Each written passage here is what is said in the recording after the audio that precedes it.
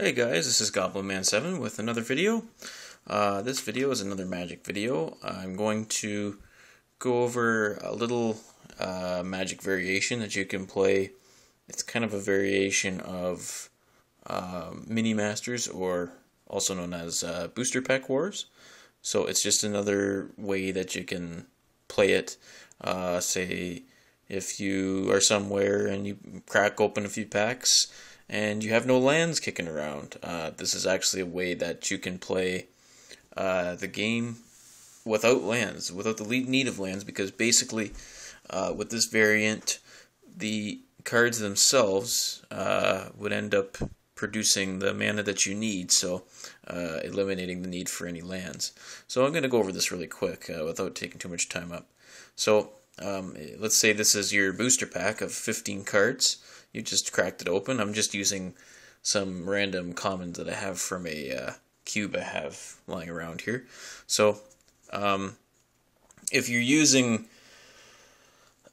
if if you're using uh, like a like a booster pack or a bunch of random cards, if you have 15 or 20 or something like that, that's not very many. So what I would probably do with it, you know, with that amount of cards is just deal out a starting hand of five and then you know mulliganing's free. But yeah, just deal yourself uh, out a starting hand of five uh, instead of seven cards. If you had more than fifteen or twenty cards, you know, if you had thirty non-land cards uh, or forty or whatever like that, then you don't need to. You can still draw seven cards just as normal.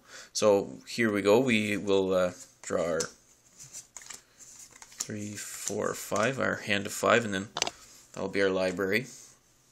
So I just want to go over uh, how this would work very quickly. So here's the starting hand here.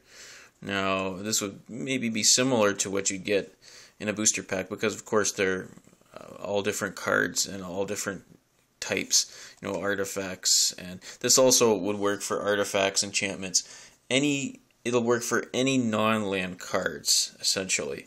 Uh, this game, this variant. So you know, basically, um, the gold cards. There are two cards here. They're gold cards. There, there's two. There's this one has red, blue, and this one has green and black, or black and green. Now, in this case, this would act as a dual land. So, if you wanted uh, to play one of these as a land to generate either red or blue, take this one for example. Uh, say you didn't you didn't want this card, you didn't want to play this card later, so you would play it as a land uh, but of course, it would come in tapped because just as the case with dual lands, common dual lands they come into play tapped. So if you did that at the start, it'd be tapped, and then uh, the other person would play, and then when the turn comes back to me, it would untap as usual, and then you could tap it to generate either uh, blue or red mana. So we've got there whatever colors are here. So even if there was a card that had three, the same thing would, would work. So then you would, you know, uh, this turn two, you draw a card, um, draw a black card here. So you've got one red or one blue, you know, and then basically you would keep on playing. So if you wanted black mana to get this to work toward this guy, you'd, you'd play this as a as a a land card, and then you'd have one red or blue mana, or one or red or blue land, and one uh, black land because there's just black here. So that's the one you could use. If you played an artifact as a land, then it would work as colorless, of course. So it wouldn't actually have a color, but it would work as a, a colorless uh, mana source. So, um, and then you just keep playing. Basically, you try to work your way to play some cards. Uh, you you'll obviously you'll keep drawing, so it's not like you're going to completely deplete your hand or or your you know or your or what's in your hand because you're going to keep drawing, and eventually you're going to have the uh, the right number of lands here to play the cards in your hand, and it's um, as I said, it's kind of a neat if you want to switch things up for mini masters when you actually have three lands of each color uh, and play like this, and you don't have to lug around a bunch of land cards all the time because, as I said, these every card can act as either a land source or it can uh, be a card.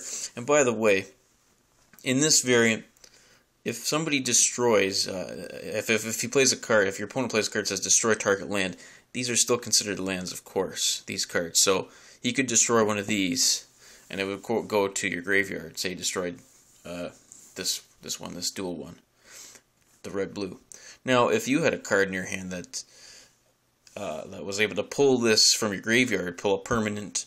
Um, if it was a land pull, this would count as a land because you played it as a land. So if it's a return target land from your library, it's the same.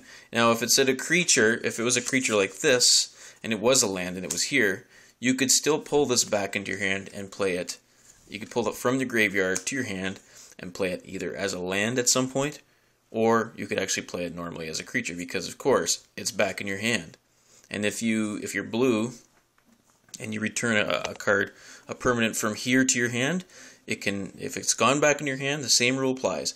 You can play it either as a land source, a mana source, or you can use it as a creature or an instant or an artifact or enchantment. So, um, and this is very fun. I've tried this out uh, with a cube and it works very well.